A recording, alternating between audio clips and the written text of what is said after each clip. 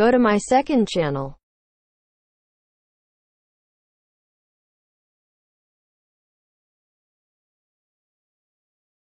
It's better.